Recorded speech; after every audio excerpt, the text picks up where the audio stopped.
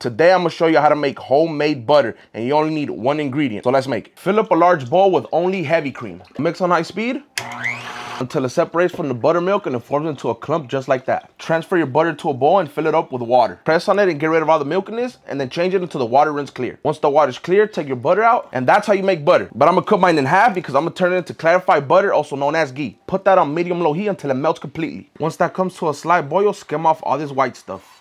Now pour it into a jar with a cheesecloth, and that's how you make clarified butter, also known as ghee. That was so easy to make.